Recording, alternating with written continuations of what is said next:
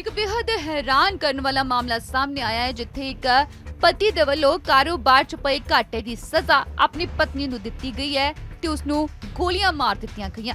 ਜੀ ਹਾਂ, ਕਾਰੋਬਾਰੀ ਨੂੰ ਜਦੋਂ ਆਪਣੇ ਕਾਰੋਬਾਰ 'ਚ ਘਾਟਾ ਪੈਣਾ ਸ਼ੁਰੂ ਹੋਇਆ ਤਾਂ ਉਸਨੇ ਸ਼ਰਾਬ ਪੀਣੀ ਸ਼ੁਰੂ ਕਰਤੀ ਤੇ ਨਸ਼ੇ ਦੇ ਵਿੱਚ ਹੀ ਆਪਣੀ ਪਤਨੀ ਨਾਲ ਝਗੜਾ ਕਰਦਿਆਂ ਉਸ ਤੇ ਗੋਲੀਆਂ ਚਲਾ ਦਿੱਤੀਆਂ। ਜ਼ਖਮੀ ਹਾਲਤ ਦੇ ਵਿੱਚ ਪਤਨੀ ਨੂੰ ਹਸਪਤਾਲ ਦੇ ਵਿੱਚ ਭਰਤੀ ਕਰਵਾਇਆ ਗਿਆ ਹੈ। ਮਾਮਲਾ ਖੰਨਾ ਦੇ ਮਲੋੜ ਰੋਡ ਤੋਂ ਸਾਹਮਣੇ ਆਇਆ ਹੈ। ਜਿੱਥੇ ਰਾਧਾ ਇਨਕਲੇਵ ਦੇ ਵਿੱਚ ਸ਼ਹਿਰ ਦੇ ਇੱਕ ਨਾਮੀ ਕਾਰੋਬਾਰੀ ਨੇ ਆਪਣੀ ਪਤਨੀ ਨੂੰ ਗੋਲੀਆਂ ਮਾਰੀਆਂ ਨੇ, ਗੰਭੀਰ ਰੂਪ ਨਾਲ ਜ਼ਖਮੀ ਪਤਨੀ ਨੂੰ ਹਸਪਤਾਲ ਦੇ ਵਿੱਚ ਭਰਤੀ ਕਰਵਾਇਆ ਗਿਆ ਹੈ।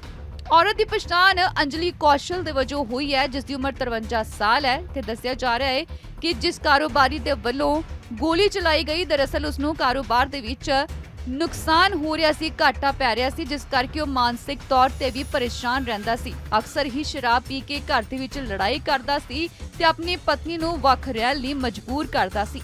ਇਸੇ ਗੱਲ ਨੂੰ ਲੈ ਕੇ ਫਿਰ ਤੋਂ ਬਹਿਸ ਹੋਈ ਤੇ ਇਸ ਸ਼ਖਸ ਨੇ ਆਪਣੀ ਹੀ ਪਤਨੀ ਤੇ ਗੋਲੀਆਂ ਦਾਗ ਦਿੱਤੀਆਂ। ਗੋਲੀਆਂ ਦੀ ਆਵਾਜ਼ ਸੁਣ ਕੇ ਜਦੋਂ ਇੱਥੇ ਲੋਕ ਪਹੁੰਚੇ ਤਾਂ ਉਹ ਵੀ ਸਹਿਮ ਗਏ ਕਿਉਂਕਿ ਇੱਥੇ ਗੋਲੀਆਂ ਚਲਾਈਆਂ ਗਈਆਂ ਸੀ ਇੱਕ ਪਤੀ ਦੇ ਵੱਲੋਂ ਆਪਣੀ ਪਤਨੀ ਤੇ। ਜਦੋਂ ਮੌਕੇ ਤੇ ਪੁਲਿਸ ਪਹੁੰਚੀ ਤਾਂ ਮੁਲਜ਼ਮ ਫਰਾਰ ਹੋ ਚੁੱਕਿਆ ਸੀ। ਪੁਲਿਸ ਟੀਮਾਂ ਦੇ ਵੱਲੋਂ ਸ਼ਹਿਰ ਨੂੰ ਸੀਲ ਕੀਤਾ ਗਿਆ ਹੈ ਤੇ ਮੁਲਜ਼ਮ ਵਰਿੰਦਰ ਕੌਸ਼ਲ ਨੂੰ ਫੜ ਲਿਆ ਗਿਆ ਹੈ। ਡੀਐਸਪੀ ਨੇ ਦੱਸਿਆ ਕਿ ਵਰਿੰਦਰ ਕੌਸ਼ਲ ਦੇ ਸਾਲੇ ਕ੍ਰਿਸ਼ਨ ਮੂਰਤੀ ਮੈਨਨ ਨੇ ਸ਼ਿਕਾਇਤ ਕੀਤੀ ਸੀ, ਜਿਸ ਦੇ ਆਧਾਰ ਤੇ ਉਹਨਾਂ ਵੱਲੋਂ ਹੁਣ ਮੁਲਜ਼ਮ ਦੇ ਖਿਲਾਫ ਮਾਮਲਾ ਦਰਜ ਕੀਤਾ ਗਿਆ ਹੈ ਤੇ ਅੱਗੇ ਦੀ ਕਾਰਵਾਈ ਕੀਤੀ ਜਾ ਰਹੀ ਹੈ। ਇਹ ਰਾਤ ਨੂੰ 1:30 ਵਜੇ ਦੀ ਕੋਈ ਗੱਲ ਹੈ ਜੀ। ਮੈਨੂੰ ਕੁਛ ਸਾਡੇ ਕਲੋਨੀ ਚੋਂ ਪ੍ਰਧਾਨ ਹੋਣ ਦੇ ਨਾਤੇ ਮੇਰੇ ਕੋਲ ਕੋਈ ਫੋਨ ਆਏ। ਵੀ ਇੱਥੇ ਕੋਈ ਕੋਈ ਗੋਲੀ ਗੋਲੀ ਦੀ ਆਵਾਜ਼ ਆ ਰਹੀ ਹੈ, ਕੋਈ ਗੱਡੀ ਫਿਰ ਰਹੀ ਹੈ, ਕੀ ਹੈ?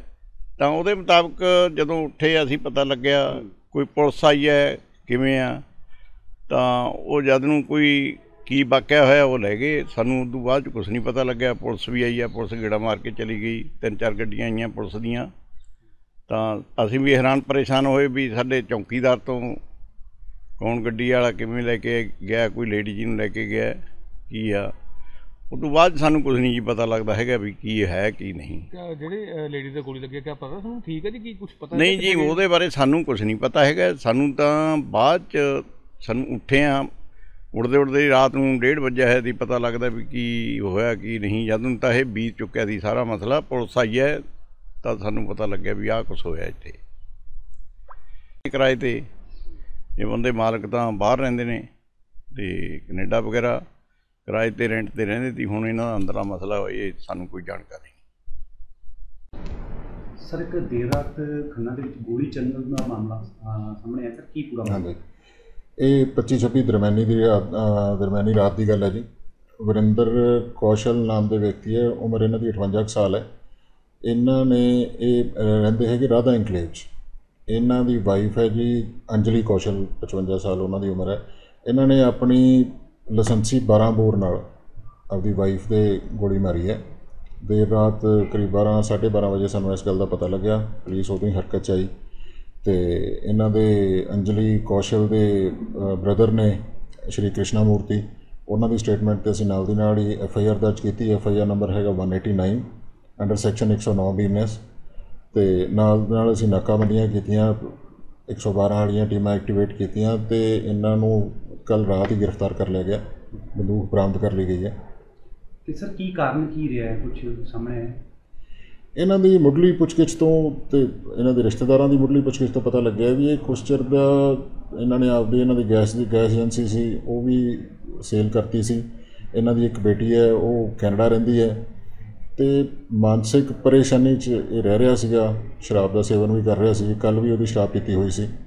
ਅਤੇ ਕੱਲ੍ਹ ਦਿਨੇ ਇਹ ਜਿਹੜੋ ਮੈਡਮ ਅੰਜਲੀ ਆ ਆਪਣੇ ਪੇਕੇ ਗਏ ਹੋਏ ਸੀਗੇ ਸ਼ਰਾਧਾਂ ਦੀ ਰਸਮ ਕਰਨ ਜੋ ਰਾਤ ਨੂੰ ਇਹ ਸ਼ਾਮ ਨੂੰ ਘਰੇ ਆਏ ਅਤੇ ਇਹਨਾਂ ਨੇ ਉਦੋਂ ਹੀ ਇਹਦੀ ਉਦੋਂ ਡਰਿੰਕ ਕੀਤੀ ਹੋਈ ਸੀ ਅਤੇ ਘਰਾਂ ਝਗੜਾ ਕਰਨਾ ਸ਼ੁਰੂ ਕਰਤਾ। ਉਹਦੀ 12 ਬੋਰ ਬੰਦੂਕ ਚੱਕ ਲਿਆ ਅਤੇ ਉਹਦੇ ਨਾਲ ਪਹਿਲਾਂ ਤਾਂ ਹਵਾ 'ਚ ਕੁਛ ਫਾਇਰ ਕੀਤੇ ਇਹਨੇ ਅਤੇ ਹੁਣ ਇੱਕ ਉਹਨਾਂ ਦੇ ਮਲਟੀਪਲ ਸ਼ਾਟਸ ਲੱਗੇ ਆ ਜਿਹਨਾਂ ਨੂੰ ਦਾਣੇ ਕਹਿੰਦੇ ਆ।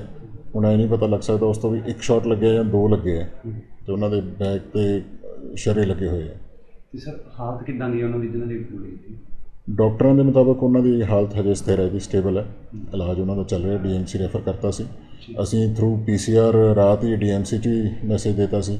ਡਾਕਟਰਾਂ ਨੂੰ ਸਟੈਂਡ ਬਾਈ ਕਰਤਾ ਸੀਗਾ ਜਦੋਂ ਇੱਥੋਂ ਐਂਬੂਲੈਂਸ ਚੱਲੀ ਹੈ।